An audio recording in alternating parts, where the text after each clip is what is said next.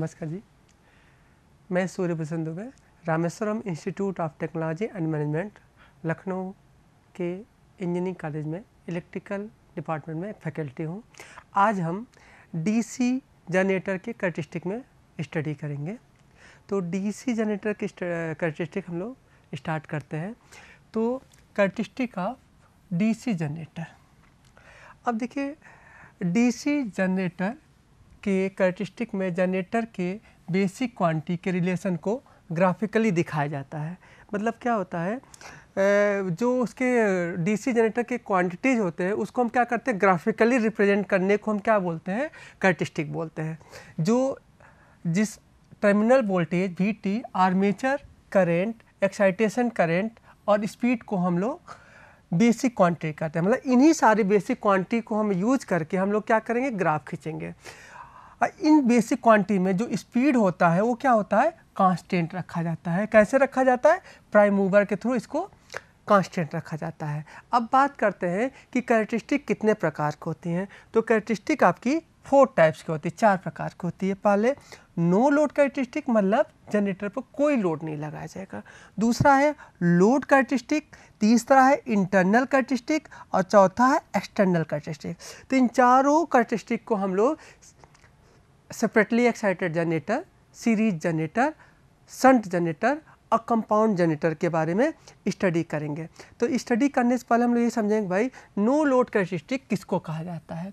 अब देखो no load characteristic constant speed पर जनरेटेड ईएमएफ मतलब ई नाट और एक्साइटेशन करंट आई एफ़ के बीच कर्व को हम क्या बोलते हैं? नो लोड कैरेक्टरिस्टिक मतलब इस कैरेक्टरिस्टिक का नो लोड कैरेक्टरिस्टिक बोलते हैं। इसके अलावा इसका नाम दूसरा दूसरा क्या है? ओपन सर्किट कैरेक्टरिस्टिक जिसको ओसीसी बोलते हैं। तीसरा नाम इसका मैग्नेटाइजेशन कर्व और चौथा नाम है नो लोड मैग्नेटाइजेशन कर्व मतलब नो लोड कैरेक्टरिस्टिक को चार तरह से, चार नाम से हम लोग जानते हैं, जिसमें ये ग्राफ हम लोग ई नाट ई नाट और आई एफ़ के बीच में खींचा जाता है, जबकि इसका स्पीड जो होगा, वो क्या होगा? कांस्टेंट होगा। अब बात करते हैं, लोड कैरेक्टरिस्टिक किसके बीच में खींचा जाता है? कांस्टेंट स्पीड और आर्मेचर करंट। मतलब आर्मेचर करंट और स्पीड क्या होंगे? कांस्टेंट होंगे और किसके बीच में ड्रा किया जाएगा? टर्मिनल वोल्टेज और एक्साइटेशन करंट के बीच के कर्व को लोड कैरेक्टरिस्टिक कर्व कहते हैं। दो हो गए। थर्ड क्या है? इंटरनल कैरेक्टरिस्टिक इंटरनल कैरेक्टरिस्टिक पढ़ने से पहले दो चीज़ हम समझ लें। एक हम वर्ड यूज़ करते हैं ई e नाट और एक यूज़ करते हैं ई जी तो इसको लोग बोलते हैं नो लोड वोल्टेज बोलते हैं और इसको बोलते हैं जनरेटेड वोल्टेज। इन दोनों में अंतर ये है कि जब इसमें आर्मेचर रिएक्शन होगा, उसके बाद जो आएगा, उसको क्या बोलते हैं? जनरेटेड। मतलब नो लोड में आर्मेचर रिएक्शन नहीं होता, उसको इनाट बोलते हैं और जब उसमें आर्मेचर रिएक्शन माइनस कर देंगे, उस वोल्टेज को हम ईजी बोलेंगे। ये दो सिंबल हमने यहाँ पर यूज़ किया है। वही हम बात कर रहे हैं कांस्टेंट स्पीड और एक्साइटेशन करेंट पर जनरेटेड वोल्टेज ईजी और लोड करंट आई के बीच कर्व को इंटरनल कैरेक्टरिस्टिक कहते हैं। मतलब ई और आईएल के बीच में जो ग्राफ खींची जाती है, उसको हम लोग क्या बोलते हैं? इंटरनल और नेक्स्ट आता है एक्सटर्नल कैरेक्टरिस्टिक अब देखो भाई एक्सटर्नल कैरेक्टरिस्टिक क्या होता है? जो आपका इंटरनल था सेम आपका एक्सटर्नल अंतर ये हो जाएगा, जो ईजी है, यहाँ पर ईजी की जगह क्या हो जाएगा? वीटी हो जाएगा मतलब टर्मिनल वोल्टेज हो जाएगा। मतलब क्या बोले? कांस्टेंट स्पीड और एक्साइटेशन करंट पर मतलब ये दोनों क्या होंगे? कांस्टेंट होंगे। पर टर्मिनल वोल्टेज वी और लोड करेंट के बीच कर्व को एक्सटर्नल कैरेक्टरिस्टिक कहते हैं। अब हम लोग बात करते हैं कि अब अलग अलग हम इन चारों कैरेक्टरिस्टिक को अलग अलग मोटर के लिए सॉरी जनरेटर के लिए स्टडी करेंगे। सबसे पहले बात करते हैं for separately excited generator separately excited मतलब जिसके फ़ील्ड को हम लोग अलग से सप्लाई देकर एक्साइट करते हैं, उसको सेपरेटली एक्साइटेड बोलते हैं, जिसको हम लोग ऑलरेडी स्टडी कर चुके हैं। तो अभी हम लोग ने पढ़ा था नो लोड में स्पीड कांस्टेंट होगा और किसके किसके बीच में ग्राफ खींचना है? ई e नाट और आई एफ़ के बीच में हमें ग्राफ खींचना है। अब आपने क्या किया? सबसे पहले हम क्या करेंगे? फ़ील्ड को वेरिएबल बनाएँगे क्योंकि फ़ील्ड क्या है? वेरिएबल है इसलिए हमने एक रेजिस्टेंस लगा दिया। रेजिस्टेंस की वैल्यू कम करके फ़ील्ड को हम क्या कर सकते हैं? वेरिएबल बनाएँगे। सबसे पहले हम यहाँ पर इसको कोई सप्लाई इसको नहीं देते हैं। इसको हम नो सप, नो सप्लाई इसको कोई सप्लाई हम नहीं देते हैं। और इस जनरेटर को क्या करते हैं? इस जनरेटर का आर्मेचर को एक कांस्टेंट स्पीड पर क्या करते हैं? मूव करा देते हैं। मूव कराने पर इसमें क्या होगा? इसको आपने कोई सप्लाई नहीं नो सप्लाई ज़ीरो सप्लाई है। इसमें कोई सप्लाई नहीं है। जब सप्लाई नहीं दे रखे तो भी इसके अंदर एक वोल्टेज पैदा होगा, जिसको ए ओ यहाँ बोला गया है। ये ए ओ वोल्टेज कहाँ से आया? चूँकि इसके अंदर क्या होता है? एक रेजिडुअल फ्लक्स होता है। रेजिडुअल फ्लक्स होता है, जिसकी वजह से इसकी वैल्यू क्या आती है? दो से लेकर के सिक्स वोल्ट तक इसमें सप्लाई आ जाती है, जबकि इसको अपने फ़ील्ड को कोई एक्साइट नहीं किया है। तो इसका मतलब जो ग्राफ स्टार्ट होगा, वो ज़ीरो से ना स्टार्ट होकर ए पॉइंट से स्टार्ट होगा। अब बात करते हैं। अब हम धीरे धीरे क्या करेंगे? फ़ील्ड को बढ़ाएँगे। और जब फ़ील्ड को बढ़ाएँगे तो ई e का जो ई e जी का फार्मूला होता है E G equal to N five P upon A और जेड अपान सिक्सटी मतलब फ्लक्स बढ़ेगा तो ई e भी क्या होगा? बढ़ेगा। तो हमने क्या किया? फ्लक्स को बढ़ाया। यहाँ पर सप्लाई देंगे तो फ्लक्स बढ़ेगा। तो इस रेशियो में ये ग्राफ भी क्या होगा? इस तरह से जाता है। आप देखेंगे ए से लेकर के बी तक जो ग्राफ है वो क्या स्ट्रेट लाइन है। इस समय जो भी इसको आपने सप्लाई दिया फ़ील्ड को, वो सारा किसमें? एयर गैप में जो इसका एम जो हुआ, वो एयर गैप में क्या फ्लक्स बनाने में यूज़ हुआ। लेकिन बी से लेकर के पी तक क्या करता है? इसका जो आपने एम इसको होता है एम जो इसको दिया जाता है, इसका एमएमएफ दो भाग में डिवाइड होता है। एक एयर गैप में फ्लक्स बनाता है और दूसरा आयरन को एम को, आयरन कोर को एम प्रोवाइड करता है।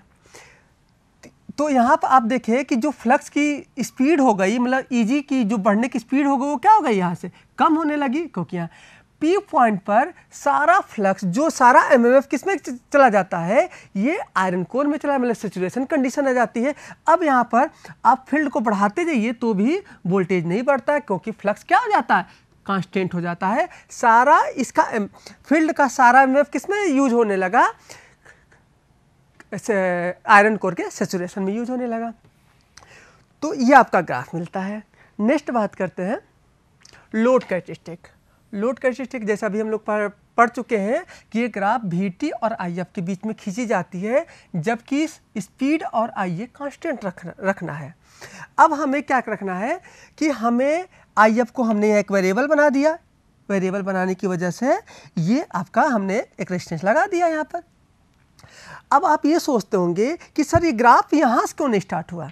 आप सोचिए, हमें जो आई ए चाहिए वो क्या चाहिए? कांस्टेंट चाहिए। ये हमने मान लिया, ये कांस्टेंट है। तो जैसे आप इसको जब सप्लाई देंगे, जब सप्लाई इसको देंगे, उस समय यहाँ पर हमें सप्लाई देते ही इसी के अंदर करंट नहीं फ्लो होने लगेगा। सप्लाई देते हैं। अब इसके अंदर क्या दो से छः वोल्ट आया, लेकिन हमें इसके अंदर करंट जो चाहिए, वो क्या चाहिए? रेटेड चाहिए।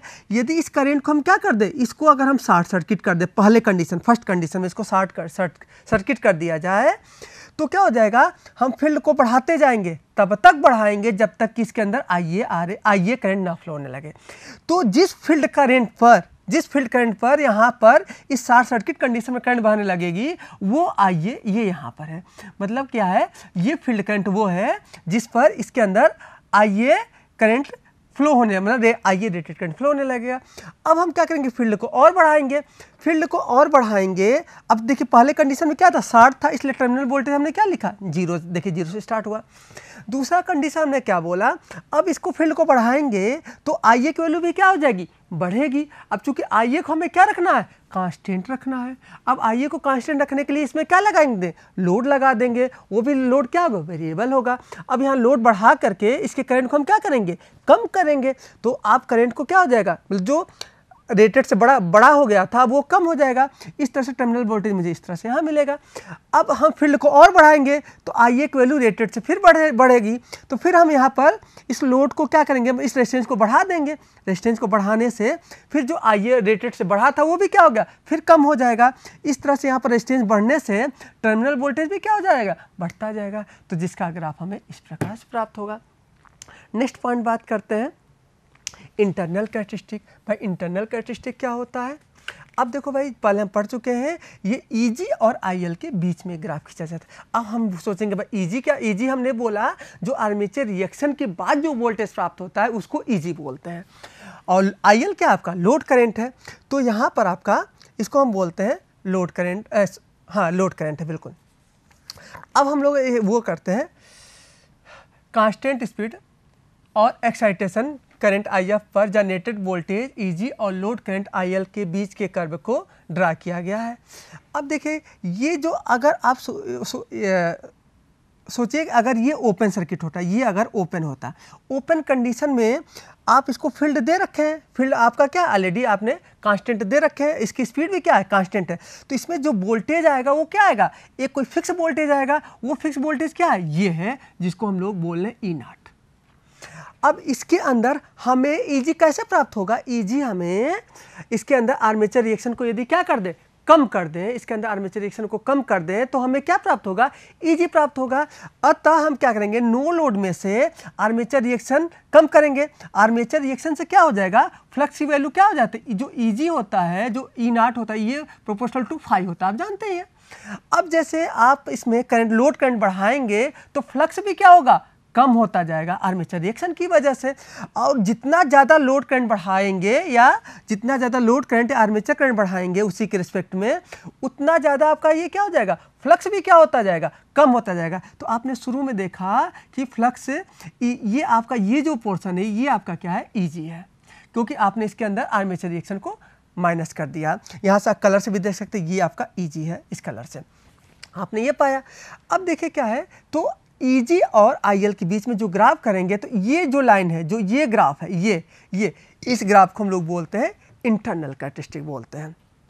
नेक्स्ट बात करते हैं, एक से ध्यान रखिएगा कि जो इसका फ्लक्स है, वो किस पर डिपेंड करता है? आईएल पर डिपेंड करता है। तो जितना ज़्यादा आई बढ़ता जाएगा फ्लक्स में भी उतनी कमी होती जाएगी, उसी रिस्पेक्ट में ईजी e में भी क्या होगी? कमी होती जाएगी।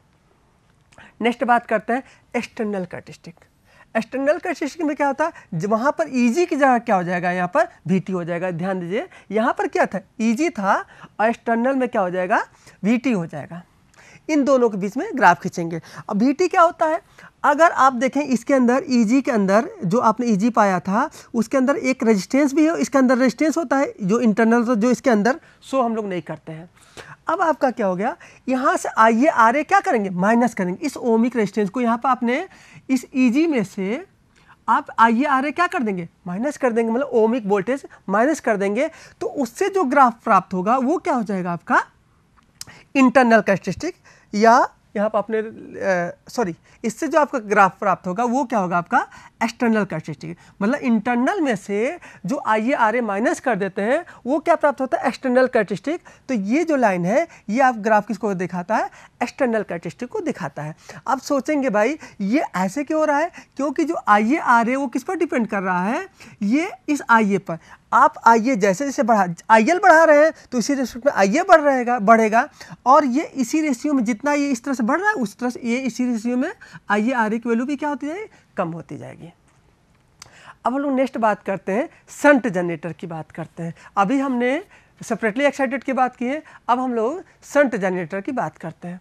अब देखो भाई, क्या होता है संट जनरेटर में? संट जनरेटर, पहले हम नो लोड कैस्ट्रिक नो लोड कैस्ट्रिक किसके बीच में ग्राफ खींचा जाता है? ई नाट और आई एफ़ के बीच में ग्राफ खींचते हैं। यहाँ हमने लिखा ई नाट आई एफ़ के बीच में ग्राफ खींचा। अब यहाँ पर अगर आप ध्यान देंगे तो इसके अंदर भी एक रेजिडुअल फ्लक्स होता है। आप अगर इसको कोई, आपने इसको एक कांस्टेंट स्पीड से क्या कर दिया? मूव करा दिया। इसको कोई सप्लाई मूव कराने से इसके अंदर कोई सप्लाई तो पैदा नहीं हुई है। लेकिन इसके अंदर रेजिडुअल फ्लक्स होने की वजह से इसके अंदर क्या हो जाएगा? ई e नाट पैदा हो जाएगा, क्योंकि ई e नाट किसके? फाइव प्रोफेशनल होता है। और ये जो स्टार्टिंग में जो फ्लक्स है, वो क्या है? रेजिडुअल इस फ्लक्स की वजह से जो वोल्टेज पैदा होगा, उसको रेजिडुअल फ्लक्स वोल्टेज बोलते हैं, जिसकी वैल्यू हम पहले ही बता चुके हैं। टू से लेकर के सिक्स वोल्ट तक होता है। अब इसके अंदर सिक्स वोल्ट आ गया। अब ये सिक्स वोल्ट की वजह से इसके, इसमें क्या हो जाए? इसमें करंट फ्लो होने लगेगा। और इस सिक्स को, अब जो रेजिडुअल फ्लक्स था, उसकी स्ट्रेंथनेस भी क्या होगी? बढ़ती जाएगी। और जब सिक्स बोल्ट से क्या हो जाएगा? एट बोल्ट हो जाएगा। एट बोल्ट होने से इसकी स्ट्रेंथ और बढ़ जाएगी। इस तरह से आपका जो ओपन ओपन वोल्टेज या ई नाट जिसको ई जो ई नाट है, वो वो भी ज़ीरो के बराबर है। वो भी क्या हो जाएगा? इस तरह से स्पीड से बढ़ता जाएगा। ये पहले ही बता चुके ए और बी में क्या होगा? स्पीड तेज होगा, उसके बाद स्लो हो जाएगा और पी के बाद फ्लक्स कांस्टेंट हो जाता है, इस तरह से वोल्टेज कांस्टेंट हो जाता है, जो कि हम पहले ही पढ़ चुके हैं। अब हम बात करते हैं लोड कैरेक्टरिस्टिक के बीच में। लोड कैरेक्टरिस्टिक किसके बीच में ड्राफ्ट किया जाता है? टर्मिनल वोल्टेज और आईएफ के बीच में। अब आप सोचेंगे, हमने देखो टर्मिनल वोल्टेज मतलब ये वी हो गया, ये टर्मिनल वोल्टेज और आईएफ के बीच में, ये आईएफ। इसको हमने वेरिएबल बनाया है, लेकिन हमने इसको वेरिएबल क्यों बनाया है? इसको हमने इसलिए वेरिएबल बनाया है क्योंकि मुझे आई ए कांस्टेंट रखना है। आई ए को कांस्टेंट रखने के लिए मुझे लोड को भी क्या रखना पड़ेगा? वेरिएबल बनना, बनाना पड़ेगा। सबसे पहले हम लोग क्या करेंगे? इसको प्राइम मूवर से मूव करा देते हैं। इस प्राइम मूवर से मूव कराने पर इसके अंदर क्या आता है? रेजिडुअल फ्लक्स की वजह से इसमें सिक्स वोल्ट आ जाएगा रेजिडुअल की वजह से। अब क्या होगा? मुझे इसके अंदर कितना करंट चाहिए? यहाँ पर मुझे रेटेड करंट चाहिए। आर्मेचर करंट की जो आई ए की वैल्यू क्या होनी चाहिए? रेटेड होनी चाहिए। अतः इसको हम क्या करें? अगर इसको हम क्या कर दें? साठ कर दें तो भी क्या हो जाएगा? इसमें रेटेड नहीं फ्लो होगा। तो हम फ़ील्ड को और बढ़ाएँगे। तो एक ऐसा समय आएगा कि इसके अंदर क्या होगा? यहाँ पर रेटेड करंट फ्लो होने लगेगा। तो जिस फ़ील्ड पर रेटेड करंट फ्लो होगा वो, वो उस फ़ील्ड को क्या वो वो वो पॉइंट हमें प्राप्त हो गया। और ये इस समय क्या है? शॉर्ट सर्किट कंडीशन में। तो हमें ये पॉइंट प्राप्त होगा। अब धीरे धीरे हम क्या करेंगे? फ़ील्ड को बढ़ाएँगे। फ़ील्ड को बढ़ाएँगे तो आई ए की वैल्यू भी क्या हो जाएगी? बढ़ेगी। अब आई ए की वैल्यू को मेंटेन करने के लिए हमें क्या करना पड़ेगा? यहाँ पर एक लोड लगाना पड़ेगा जिससे आई ए जो रेटेड से ऊपर हो, हो गई है वो क्या हो जाए? कम हो जाए। अतः हमें टर्मिनल वोल्ट फिर से थोड़ा सा प्राप्त होता है। फ़ील्ड को और बढ़ाएँगे। फ़ील्ड को और बढ़ाने पर क्या होगा? ये आई ए की वैल्यू और इंक्रीज करेगी। इस आई को मेंटेन करने के लिए हम यहाँ पर लोड को और मतलब रेजिस्टेंस को और बढ़ाएँगे तो आई क्या हो जाएगा? कम हो जाएगा। आई को कम होने के हो, होने से हम लोग क्या करेंगे? इसके बाद और इसको यहाँ पर जो वी हो जाएगा, वो भी क्या जाएगा? और इंक्रीज हो जाएगा जो किस तरह से हमें मतलब आपने ये पाया कि इसका भी कैरेक्टरिस्टिक वैसा ही था, जैसा कि सेपरेटली एक्साइटेड का था। अब नेक्स्ट बात करते हैं इंटरनल कैरेक्टरिस्टिक की बात करते हैं। इंटरनल कैरेक्टरिस्टिक आप क्या होता है? ई e और आईएल के बीच में ग्राफ खींचा जाता है। तो यहाँ पर अगर हम क्या कर दें कि ये आपका नो लोड वोल्टेज है, अगर इसमें से हम लोग क्या कर दें आई आर्मेचर रिएक्शन कम कर दें आर्मेचर रिएक्शन को कम कर दिया जाए तो हमें क्या मिल जाएगा? इंटरनल कैरेक्टरिस्टिक मिल जाएगा। इस तरह से हमें यहाँ पर ये जो आपने देख, लिखे भी हैं, ध्यान से डी और एफ़ डी और एफ़ क्या आर्मेचर रिएक्शन मतलब आर्मेचर रिएक्शन की वजह से इसमें माइनस कर दिए तो हमें क्या मिल जाएगा हमें? आपका इंटरनल कैरेक्टरिस्टिक मिल जाएगा। अब बात करते हैं एक्सटर्नल कैरेक्टरिस्टिक एक्सटर्नल कैरेक्टरिस्टिक क्या होता है? वी टी और आई एल के बीच में। मतलब इसके क्रॉस जो वोल्टेज होता है वी टी और ये जो है आपका आई एल के बीच में जो ग्राफ खींचेंगे, उसको क्या बोलेंगे? टर्मिनल एक्सटर्नल वोल्टेज तो ये आपका क्या एक्सटर्नल है। इस एक्सटर्नल में ध्यान दीजिएगा, इससे आपको इंटरनल भी वो हो जाएगा क्लियर हो जाएगा। इस इंटर इसमें अगर हम क्या कर दें इस एक्सटर्नल में आपका C D I A R A जो इसमें कमी हुई थी, उसको हम क्या कर दें ऐड कर दें इस आई ए आर ए को ऐड करने पर जो आपका प्राप्त होगा, वो क्या हो जाएगा इंटरनल हो जाएगा। और जो आपको इसके अंदर जो डी और एफ़ को हमने माइनस कर दिया, वो क्या हो जाएगा आर्मेचर रिएक्शन की वजह से हो जाएगा। एक चीज़ आपने और देखा होगा कि एक ड्रूपिंग आती ये देखिए, एक ड्रूप आया, ये। ये क्या है? एक्चुअल में क्या होता है, आप लोड को यहाँ पर क्या करते जाइए? यहाँ पर रेजिस्टेंस को कम करते जाइए, कम करते जाइए तो एक क्या होगा? एक आर्मेचर रिएक्शन और होगा, जो कि इसमें क्या होगा?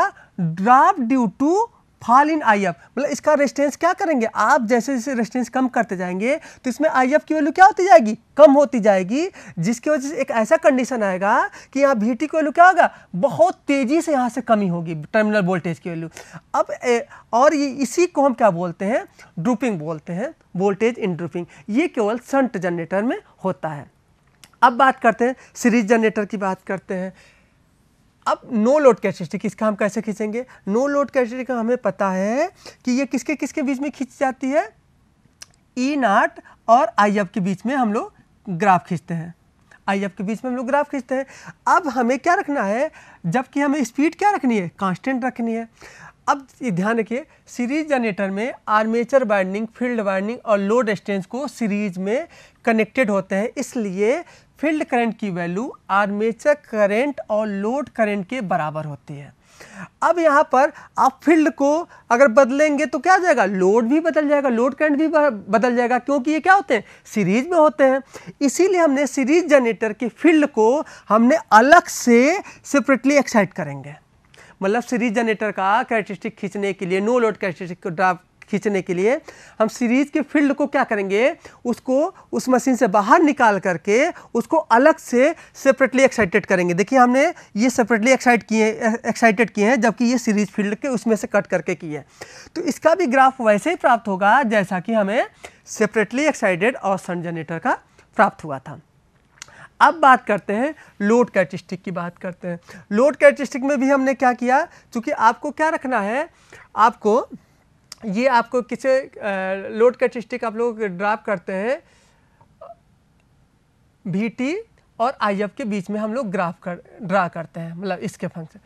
अब हमें क्या रखना है? जबकि हमें आई ए क्या रखना है? कांस्टेंट रखना है। तो आई ए कांस्टेंट रखने के लिए आप जो सीरीज़ में जैसे आपने नो लोड में सीरीज़ जनरेटर के फ़ील्ड को अलग से एक्साइट किए हैं, ऐसे यहाँ पर भी हम लोग क्या करेंगे? इसको अलग से एक्साइटेड करेंगे। अलग से एक्साइटेड करेंगे और इसमें फ़ील्ड तब तक बढ़ाएँगे जब तक कि इसके अंदर रेटेड करंट ना फ्लो हो जाए। तो जिस फ़ील्ड पर यहाँ पर रेटेड करंट फ्लो होगा, वो क्या होगा उस समय? ये शॉर्ट सर्किट कंडीशन होगी। वहाँ पर टर्मिनल वोल्टेज क्या होगा? आपको ज़ीरो मिलेगा और धीरे धीरे फ़ील्ड को बढ़ाते जाएँगे और आपका टर्मिनल वोल्टेज इंक्रीज करता जाएगा। अब बात करते हैं इंटरनल कैरेक्टरिस्टिक अब ध्यान रखें इंटरनल कैरेक्टरिस्टिक अच्छा है। अब आपने, जो आपने नो लोड पर पाए थे, जो नो लोड पर कैरेक्टरिस्टिक आपने ये पाया था नो लोड पर। नो लोड कैरेक्टरिस्टिक आपने ये पाया था। इसमें से यदि आई ए आर ए माइनस कर दें मतलब आर्मेचर रिएक्शन को क्या कर दें? माइनस कर दें तो हमें क्या मिलेगा? इंटरनल कैरेक्टरिस्टिक मिलेगा। इंटरनल कैरेक्टरिस्टिक किसके बीच में खींची जाती है? ई e और आईएल के बीच में। तो ये जो ग्राफ है, वो क्या होगा? अभी हमने पहले बोले थे, जो नो लोड वोल्टेज होता है, जिसको ई e नाट बोल रहे हैं, अगर उसमें से आर्मेचर रिएक्शन माइनस कर दे तो वो क्या प्राप्त होगा मुझे? ई e प्राप्त होगा। तो जो ईजी e क्या होता है? ईजी e और आई एफ़ के आई एल के बीच में जो ग्राफ खींचा जाता है, उसको क्या बोलते हैं? नो लोड कैरेक्टरिस्टिक बोलते हैं। अब बात करते हैं एक्सटर्नल कैरेक्टरिस्टिक किसको कहते हैं? आपको पता है, आगे नेक्स्ट पॉइंट में मतलब ईजी e की जगह क्या हो जाएगा? वीटी हो जाएगा। अब देखिए एक्सटर्नल कैरेक्टरिस्टिक ईजी की जगह पर, यहाँ पर वीटी हो गया तो वीटी और आईएल के बीच में। तो आपने आर्मेचर रिएक्शन माइनस किया और आर्मेचर रिएक्शन के बाद आप क्या माइनस कर देंगे? आर्मेचर रिएक्शन के बाद इसमें ओमिक वोल्टेज मतलब फ़ील्ड का रिस्टेंस को ड्राप कर देंगे आई आर ए जो है sorry I R M armature resistance को, आर्मेचर रेजिस्टेंस को माइनस कर देंगे। तो जो आपको ये प्राप्त होगा, वो क्या होगा? टर्मिनल वोल्टेज प्राप्त होगा। तो ये टर्मिनल वोल्टेज आपका क्या है? ये आपका वी है टर्मिनल वोल्टेज तो वी टी और एल के बीच में ये आपका ग्राफ खींचेंगे। एक चीज़ और और अगर इसको रेजिस्टेंस को और कम करते जाएँगे, आप सोचेंगे ये क्या है? ये भी एक ड्रूपिंग की कंडीशन आती है। अगर आप इसको कम करते जाएँगे तो ये क्या हो जाएगा? जनरेटर बंद हो जाएगा, जिसको क्रिटिकल क्रिटिकल लो डिस्टेंस बोलते हैं, जिसको अभी हम लोग बाद में इसको स्टडी करेंगे। अब बात करते हैं क्रिटिकल फ़ील्ड डिस्टेंस क्या होता है? जैसे हमने संट में पढ़े रेजिस्टेंस तो तो इसको पढ़ते हैं क्रिटिकल फ़ील्ड रेजिस्टेंस वो मैक्सिमम फ़ील्ड रेजिस्टेंस है, जिस पर संट जनरेटर में जस्ट वोल्टेज पैदा होता है। मतलब आपका एक दो, हमने तीन, देखो, दो जनरेटर लिए हैं, एक का क्रिटिकल रेजिस्टेंस आर वन है, दूसरे का क्रिटिकल रेजिस्टेंस आर टू है। तो क्या होगा, यहाँ पर, और जो आपने, और एक होता है क्रिटिकल रेजिस्टेंस तो जो नो लोड कैरेक्टरिस्टिक होता है नो लोड कैरेक्टरिस्टिक के कैरेक्टरिस्टिक के टेंजेंशियल लाइन को हम लोग क्या बोलते हैं? Critical resistance no load no load characteristic को के के टेंजेंशियल को हम लोग क्रिटिकल स्टेंस कहते हैं। मतलब अगर इसका वैल्यू कभी भी फ़ील्ड का रेजिस्टेंस हमेशा इसके कम होना चाहिए। मतलब अगर फ़ील्ड का रेजिस्टेंस जैसे मतलब अगर ये बढ़ते बढ़ते यहाँ पर आ गया तो इससे जैसे ऊपर होगा, अब ये क्या होगा? जनरेटर स्टार्ट होने से मना कर देगा। तो इसलिए हम क्या बोल सकते हैं कि वो मैक्सिमम फ़ील्ड रेजिस्टेंस जिस पर जनरेटर क्या होता है? जस्ट वोल्टेज पैदा करता है। उसको हम क्या बोलते हैं? क्रिटिकल फ़ील्ड रेजिस्टेंस इसका मतलब क्या है? हमेशा जो फ़ील्ड रेजिस्टेंस का मान क्रिटिकल फ़ील्ड रेजिस्टेंस से कम होना चाहिए। ऑलवेज ऑलवेज कम होना चाहिए। अब बात करते हैं सीरीज़ जनरेटर का क्रिटिकल फ़ील्ड रेजिस्टेंस क्या होता है?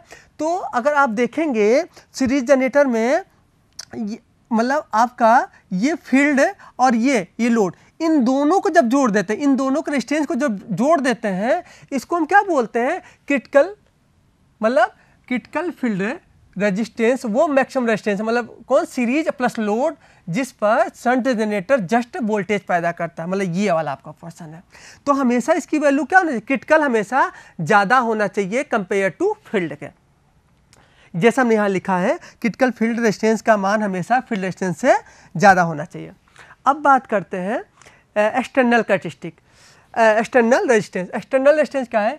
क्रिटिकल एक्सटर्नल रेजिस्टेंस वो मिनिमम लोड रेजिस्टेंस है जिस पर शंट जनरेटर में वोल्टेज जस्ट पैदा होता है। यदि एक्सटर्नल लोड का मान क्रिटिकल एक्सटर्नल रेजिस्टेंस से कम हो तो वो शंट जनरेटर स्टार्ट नहीं होगा। मतलब जो आपका लोड का रेजिस्टेंस है, हमेशा इससे क्या होना चाहिए? ये हमेशा इससे मतलब ये आपका हमेशा लोड रेजिस्टेंस से ज़्यादा होना चाहिए। मतलब इसकी वैल्यू जो है लोड रेजिस्टेंस हमेशा इस रेजिस्टेंस से क्या होना चाहिए? ज़्यादा होना चाहिए अदर वो अदरवाइज़ ये स्टार्ट नहीं होगा। अब बात करते क्रिटिकल स्पीड क्रिटिकल स्पीड क्या होता है? क्रिटिकल स्पीड वो मिनिमम स्पीड है जिस पर जनरेटर जस्ट वोल्टेज पैदा करता है। मतलब ये अगर आपका रेजिस्टेंस है तो इसके जो टेंजेंशियल बोलेंगे, उसी को हम क्या बोलते हैं? क्रिटिकल रेजिस्टेंस बोलते हैं। जैसे एक एक रेजिस्टेंस है संट का तो यहाँ पर जो इसकी स्पीड होगी, उसको क्या बोलेंगे? क्रिटिकल स्पीड बोलेंगे। क्रिटिकल स्पीड क्या होता है? एक क्रिटिकल रेजिस्टेंस तो क्रिटिकल रेजिस्टेंस क्या होता है? ये स्पीड पर डिपेंड करता है। अब बात करते वोल्टेज बिल्डअप संट में कैसे वोल्टेज बिल्डअप होता है? अब आप क्या करेंगे? जैसे ये इस पॉइंट से स्टार्ट हुआ, जैसे हम लोग समझ चुके हैं, अब फ़ील्ड को पढ़ाएँगे तो फ़ील्ड के यहाँ आया। फ़ील्ड के पढ़ने के बाद क्या हो जाएगा? करंट यहाँ पर वोल्टेज आएगा। फिर आपने फ़ील्ड को पढ़ाया तो इधर गया, फिर वोल्टेज यहाँ आ गया। फिर आप फ़ील्ड को पढ़ाएँगे तो यहाँ पर आया, फिर यहाँ इस तरह। फ़ील्ड आपने फ़ील्ड करंट को बढ़ाया तो यहाँ पर वोल्टेज हो गया। फिर फ़ील्ड करंट को बढ़ाया तो वोल्टेज यहाँ। इस तरह से क्या होता है? वोल्टेज बिल्डअप होता है। एक कंडीशन होता है तो यहाँ पर बात करते हैं कि इसमें कितना मैक्सिमम वोल्टेज पैदा हो सकता है। तो यहाँ पर आपने ये तो ओसीसी जानते हैं और फ़ील्ड रेजिस्टेंस तो यहाँ पर अगर आप बात करें कि यहाँ पर कितना वोल्टेज होगा इस सी पॉइंट पर तो इसको अगर हम सी पॉइंट बोले तो ये आई एफ़ आर एफ़ और प्लस एल डी अपन डी टी के बराबर होगा। मतलब ये जो वोल्टेज होता है, वो क्या होता है? वेरिएबल वोल्टेज होता है। और ये क्या होता है? आर्मेचर रेजिस्टेंस के क्रॉस वोल्टेज ड्रॉप के बराबर होता है। अतः अगर हम इस पॉइंट पर करें तो ये मैक्सिमम वोल्टेज होगा। इससे ज़्यादा कोई मैक्सिमम वोल्टेज नहीं होगा, और जो किसके बराबर होगा? आई ए आर के ड्राप के बराबर होगा। अब हम बात करते हैं कि किस कंडीशन में वोल्टेज क्या होता है, फेल हो जाता है। तो अगर अगर उसके रेजिडुअल मैग्नेटिज्म क्या हो? ज़ीरो हो तो भी फेल हो जाएगा। फ़ील्ड कनेक्शन क्या हो? रिवर्स हो। मतलब ऐसा फ़ील्ड हो जो उसको क्या कर दे? माइनस कर दे रेजिडुअल को तो तो भी वोल्टेज पैदा नहीं होगा। तीसरा हाई फ़ील्ड क्रिटिकल स्टेज और नेक्स्ट क्या है? Speed less than critical speed की बात करते हैं। अब बात करते हैं क्यूमुलेटिव कंपाउंड जनरेटर की बात करें तो कंपाउंड जनरेटर दो प्रकार के होते हैं। एक क्या होता है? डिफरेंशियल होता है। इसका यूज़ कम से कम किया जाता है क्योंकि ये इसका जो फ्लक्स होता है वो कम हो जाता है। इसीलिए इसका यूज़ हमेशा आ, इसका हमेशा यूज़ वेल्डिंग मशीन में प्रयोग किया जाता है। नेक्स्ट होता है आपका क्यूमुलेटिव कंपाउंड क्यूमुलेटिव कंपाउंड में बस इसमें जो नंबर ऑफ़ टन्स क्या होता है डिफरेंट होता है। अगर नंबर ऑफ़ टन्स क्या ज़्यादा रखा जाएगा तो ये क्या हो जाएगा? ओवर कंपाउंड मतलब यहाँ पर टर्मिनल वोल्टेज क्या हो जाएगा? बढ़ जाएगा। अगर यहाँ पर नंबर ऑफ़ टर्न्स इतना रखा जाए रखा जाए कि जित जितना कि इसमें आर्मेचर रिएक्शन की वजह से फ्लक्स में कमी होती है तो उसको बोलेंगे फ्लैट कंपाउंड, क्योंकि यहाँ पर वोल्टेज क्या होगा आपका? टर्मिनल वोल्टेज कांस्टेंट होगा। अगर इस पर नंबर ऑफ़ टर्न्स बहुत कम रखा जाए, तब क्या हो जाएगा? आर्मेचर रिएक्शन की वजह से फ्लग वोल्टेज में क्या होगी? कमी होगी। उसको बोलते हैं अंडर कंपाउंड इस तरह से हम लोगों का कैरेक्टरिस्टिक क्या हो गया? ओवर होता है। और धन्यवाद। नमस्कार जी।